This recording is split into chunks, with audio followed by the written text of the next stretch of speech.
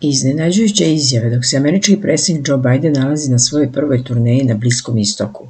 Ujedinjeni Arapski Emirati se distanciraju od anti-iranske alijanse koju predvode Sjedinje američke države i kažu da će poslati zaslanika u Teheran. Ujedinjeni Arapski Emirati rade na slanju ambasadoru u Teheranu jer nastoje da obnove mostove sa Iranom, rekao je 15. jula Anwar Gargaš, diplomatski savjetnik predsjednika Emirata. Gargaš je dodao da ideja o konfrontacionom pristupu pitanjima vezanim za Iran nije nešto što Abu Dhabi podržava. Razgovori su u toku, u procesu smo slanja ambasadora u Teheranu. Toko je proces obnove mostova na svim poljima, rekao je visoki diplomata novinarima. Oči posete Parizu, šeika Mohameda bin Zaeda al-Nahnjana.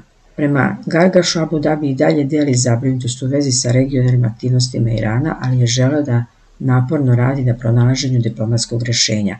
Upitano razgovorima o anti-iranskom i izraelsko-arapskom savezu, Gargaš je rekao da je bliskoistočni NATO teorijski koncept. On je dodao da sukob sa Teheranom nije opcija za Abu Dhabi. Ujedinjeni Arapski Emirati neće biti strana u bilo kojoj grupi zemalja koje vide konfrontaciju kao pravac, ali imamo ozbiljnih problema sa Iranom u vezi sa njegovom regionalnom politikom, rekao je Gargaš, napominjući da bi Ujedinjeni Arapski Emirati mogli da budu deo bilo čega što štiti zemlju od bespilotnih letelica i projektila. Ujedinjeni Arapski Emirati su obnovili diplomatski angažman sa Iranom 2019. godine niza napada koji su bili usmereni na tankere koji plove u blizini njegovih voda. Gargašova iznenađujuća izjava dolazi u trenutku kada se američki predsjednik Joe Biden nalazi na svojoj prvoj turneji na Bliskom istoku. Tokom svoje prve posjete Izraelu, Biden i izraelski premijer Jair Lapid potpisali su bezbednosti pakt kojim su ojačali zajednički front protiv Irana. Uprkos tome što su bliski saveznik Sjedinjih američkih država, Ujedinjeni Arabske Emirate pokušavaju da zauzmu neutralan stav kada je Iran u pitanju. Nedavno su Emirati negirali da su prisustvovali tajnom izraelsko-arapskom sastanku koji je trebalo da koordiniše mere protiv Teherana.